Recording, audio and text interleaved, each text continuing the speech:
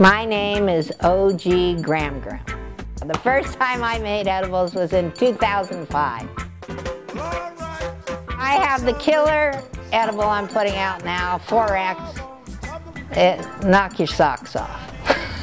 We've been looking at Colorado's groundbreaking experiment in legalizing recreational marijuana. Now, retail pot stores opened their doors on New Year's Day in Colorado. Demand has been high, to say the least. With two states having already legalized marijuana and others in tow, the medical marijuana business is blazing up. My name is Dr. Sona Patel. I am a medical marijuana doctor.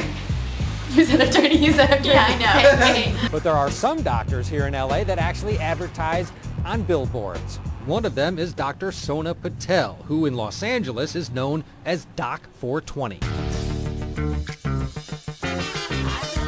Sona's a total celebrity. People all the time, when, when they ask me what I do and I tell them, they're like, you work for the doctor on the billboard? My mission is to heal patients one marijuana leaf at a time. when I told my parents I wanted to be a doctor, uh, they were not happy. It was like, no way. Um, are you kidding?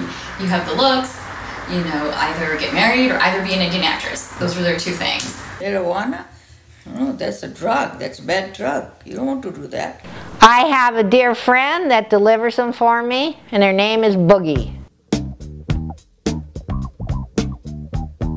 It's crazy to work for OG Graham Graham. Um, her medicine and her edibles are trusted, you know, from people and patients all over Los Angeles. So it's actually really rewarding to be able to work for her and deliver in her name.